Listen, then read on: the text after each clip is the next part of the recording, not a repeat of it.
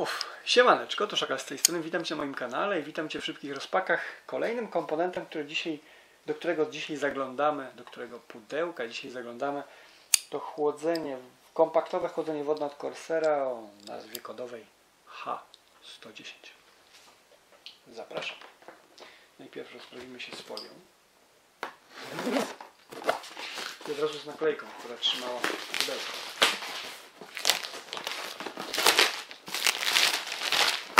O! Ciężka jest, w jednym ręku utrzymać.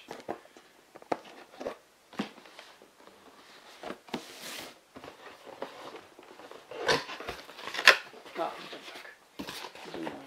Ta strona. Ten instrument. Zawartość pusto, więcej nie ma. Pudełeczko możemy sobie postawić, żeby było coś widać. O tak. Spadło. I co tu mamy? Extreme Performance with Liquid Cooling CPU Cooler Quick Start Guide. O, coś wypadło. Pewnie coś jak gwarancji. Co tu mamy jeszcze? Tu mamy mocowania wszelkiego typu, śrubki, podkładki i chyba jeszcze jakieś, no tak, wszystkie krążki, które są niezbędne do montażu. Wszystko po kolei to jest. Możemy sobie otworzyć i zajrzeć. Krążki zapiskowe, podkładki, nikolowskie AMD. Tu jeszcze zaciski, tu kolejna podkładka, tu nakładka. No i wszelkiego typu rodzaju montaże do LGA takiego, LGA takiego AMD, śrubki do podkładki do chłodnicy i do kulerów. Tak wyglądają te akcesoria. Ale cienka ta chłodnica. Tu Mam H80, montowałem też H105. H100, H105 jest grubsza, bo 35. Na te cieńsze nowe H90, H110, H100 mają 25 mm. Mamy dwa kulerki. Mam nadzieję, że nie będą dudniły za bardzo, bo jak będą to dokupimy ewentualnie. Na razie nie było potrzeby, bo te powinny dawać radę.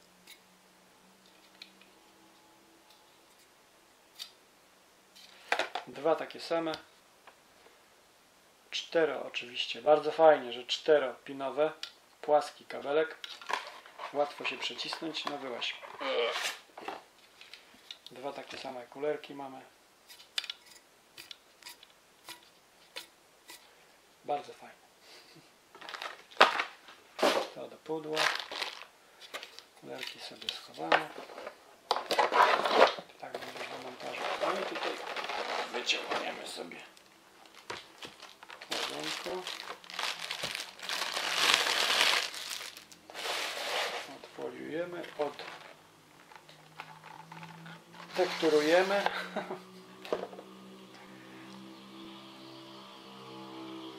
Ciekawostka. Będziemy pokazać z bliska.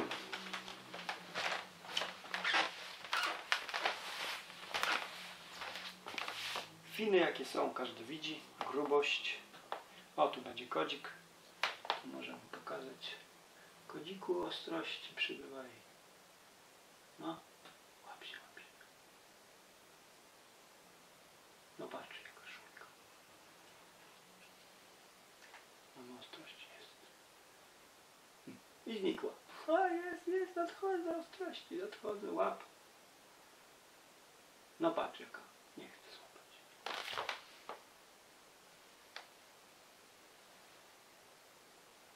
No i co, złapie nam czy nie? No dobra, nie będziemy się męczyć. Mała pompka, jakaś pasta. Wygląda trochę jak materiał. E, Zasilanie trzypinowe do pompki, no bo więcej nie trzeba. W pompce z tego co widzę nie ma, tak jak na przykład w H100 albo H100 i z H100i albo H105 są dodatkowe zasilania do kulerów.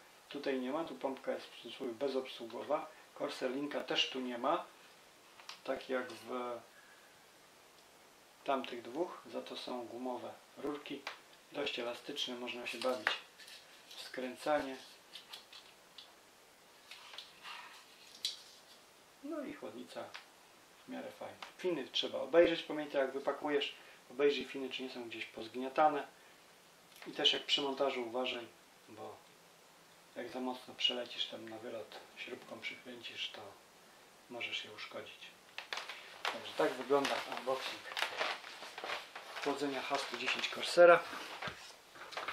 Mam nadzieję, że będzie się dobrze sprawował. I to by było na tyle. Dzięki za uwagę. Cześć, Szakalant.